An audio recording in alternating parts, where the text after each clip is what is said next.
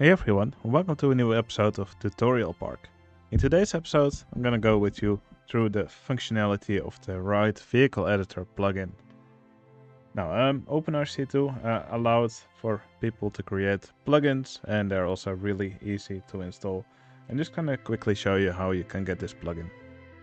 So uh, to get this plugin, just go to openrct2plugins.org. I'll leave a link in the video description. And then in the search, just type vehicle and then you should end up in a list and there you should find the Ride Vehicle Editor. Uh, you can see a description uh, of the plugin, also with some images of uh, parks where this plugin has been used. Very helpful, and also some uh, yeah instructions here for uh, for using it, uh, change log, etc. Now, to install it, just click Get Plugin here that brings you to the GitHub page.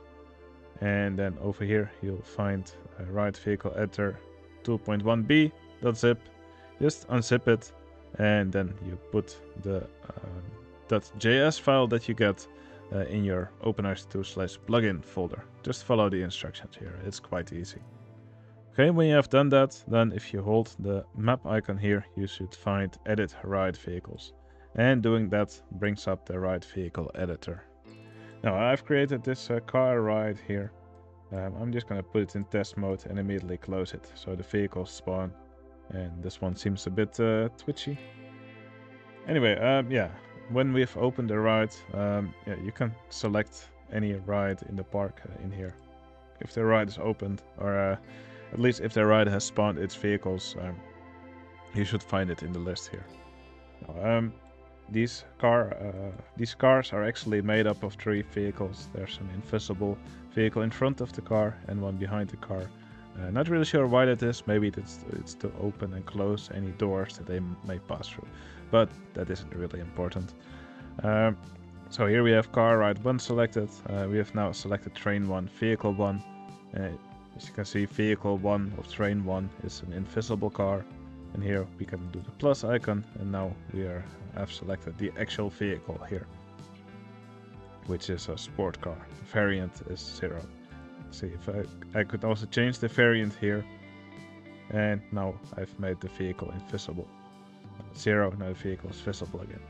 So you can use this to uh, um, move through the different vehicles of the train.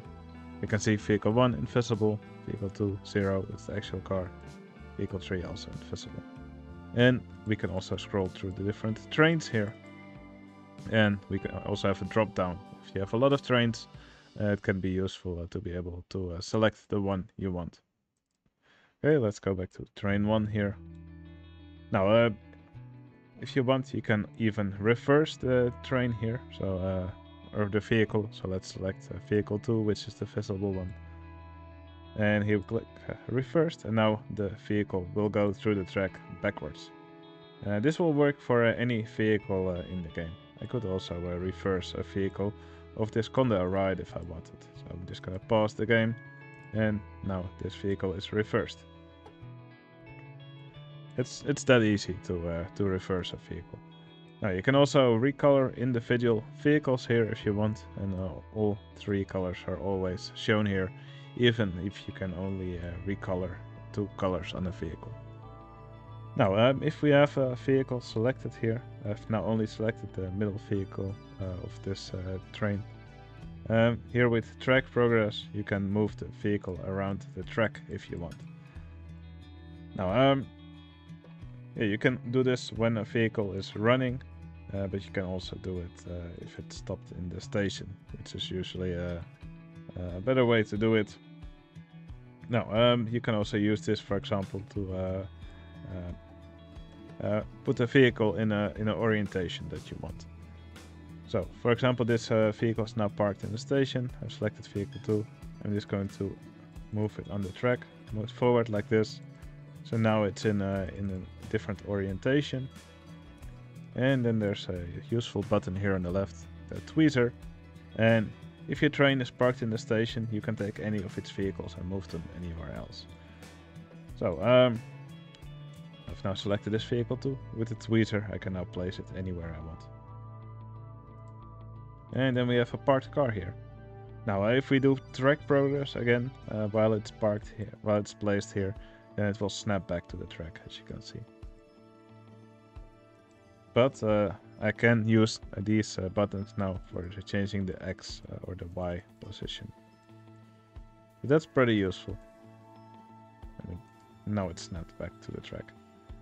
Now, there's also this button here for spacing. Um, that's useful if you have a long train. So I'm now just going to close the close the ride. I'm gonna set it to one car and I'm gonna enable the cheat to disable vehicle limits. And that allows us to make a longer train. So now I have one train with, let's put five vehicles. I'm gonna put it in test mode, immediately close it. So it spawns the vehicles, but they don't move anywhere. Now if I now select vehicle 2, now only then the spacing becomes available. Spacing is not usually available for the first vehicle. Um, if you want to change the spacing, um, you see all these buttons here for uh, synchronization. So um, if I want to change the spacing for all these vehicles, now here we have different uh, things we can select. For example, uh, you can select uh, I want all the I want the current vehicle and all the following vehicles uh, uh, yeah, for the changes to be applied to, or we can have all vehicles on this chain, on this train. So now I just set all vehicles in the train. I said synchronize, and everything I change here now gets applied to all vehicles. So for example, now I just changed the spacing, and you can see the spacing between all these vehicles will increase. Now, um, this train still has the front vehicle, which is invisible, so uh, they will move backwards with respect to that first vehicle if we change the spacing also decrease it again and it uh, is back to what it used to be. Now, um, since the uh, train is now parked in the station, well, we're still synchronized, so uh, can change the Z position for all vehicles if we want. Now, um, here's some more properties. Uh, seats, uh, you can change the number of seats on the on the vehicle. Now, I, I typically use that when I'm uh, doing advanced techniques like shoestringing. There's one vehicle that's underground running on a different track, and for that first uh, underground vehicle, I typically set the number of seats to zero. So guests don't ride this uh, underground uh, vehicle, which is not supposed to be seen anyway. Uh, you can also change the mass of a vehicle if you want. Now, for example, these uh, invisible vehicles uh, have a mass of zero. If your train only consists of vehicles that have a mass of zero, um, your train will start flying around whenever it's run. So uh, then uh, if you have a situation like that, you may want to increase the mass a bit. Now, um, the ride vehicle editor uh, also makes a distinction between powered vehicles and unpowered vehicles. For example, when you normally open a car ride, these vehicles will start running forward uh, on their own with a certain max speed and acceleration, which you can set here. Now, if we uh, choose a different vehicle, for example, uh, Wild Mouse, you can see the acceleration and max speed can no longer be changed because uh, coaster cars are only uh, influenced by gravity so and by stuff like chain lifts. They won't start running on their own. So that's uh, when you have an unpowered car. So when you have a powered car let's go back to uh, sports cars. I will just uh, make it a normal train again. So let's just uh, run it. And if I now select it in the ride vehicle editor and I can for example change the max speed. You can see it's now a lot faster and the acceleration I believe it goes up to 255 and when it's so high uh, it will immediately reach uh, its uh, the max speed that you've selected.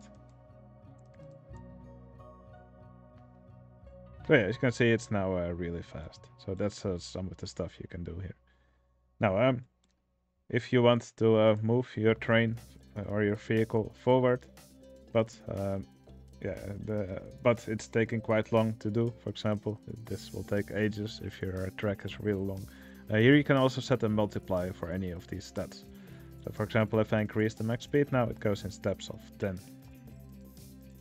And if I want, if I move it forward now, it also goes in steps of 10. So it's much faster. You can uh, increase the multiplier uh, to 100 if you want. Very useful. Okay, I've now created a second car ride. And yeah, if we go into the ride vehicle editor here, I've selected vehicle 2 still. Uh, you can actually also copy uh, a vehicle. So if you've changed a lot of stats on a vehicle and don't want to do it again for every vehicle, um, here you can select this button to copy this vehicle. And if we then uh, go with the tweezer, we select this vehicle here. We can then paste and then it gets turned into a copy of the vehicle you copied earlier. This can be uh, really useful in some situations. And you can also uh, locate your vehicle if you want. So now the window here is centered on this vehicle that is selected here. We select this vehicle. Now we are centered over here. Something which can also be uh, very useful.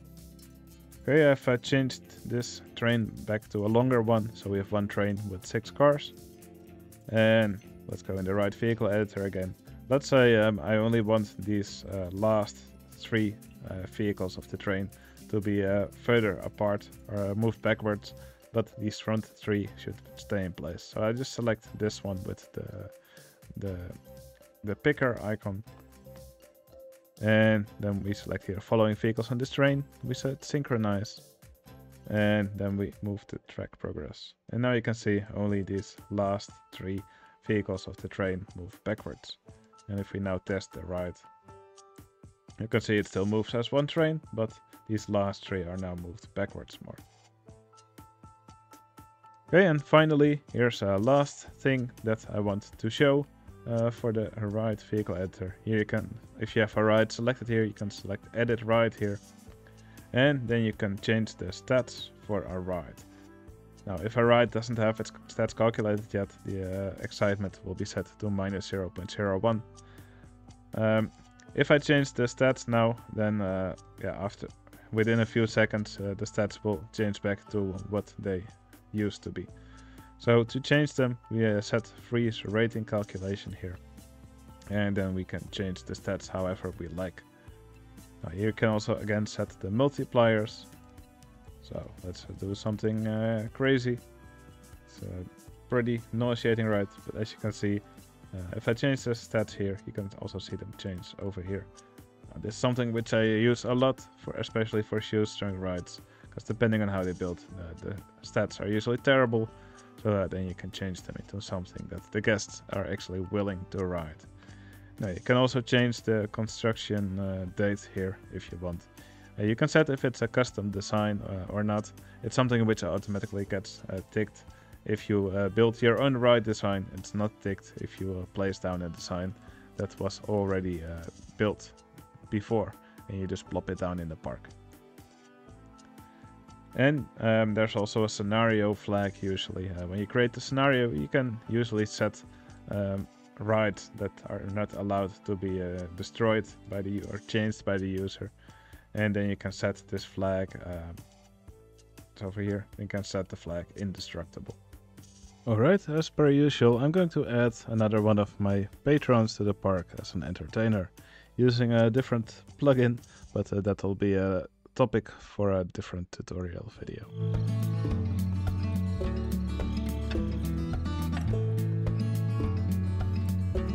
Alright, Bull Pit Warrior Thank you so much for uh, supporting my channel on Patreon. It's really appreciated.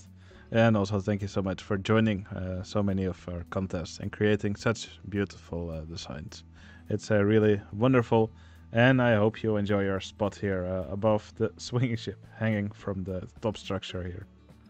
Alright, that was this quick overview for the Ride Vehicle Editor plugin. I personally use this uh, plugin a lot and I really want to thank uh, for creating this. Now, I will uh, leave a link in the video description to show you where you can download this plugin. Alright, if this tutorial is useful for you, please give it a like, it would really help out my channel. Let me know in the comments if you have any more questions about this plugin. And if you want to see more videos like these, uh, I recommend you to subscribe to my channel. Right, that's going to be it. Hope you enjoyed it. I'll see you again in the next one. See you later.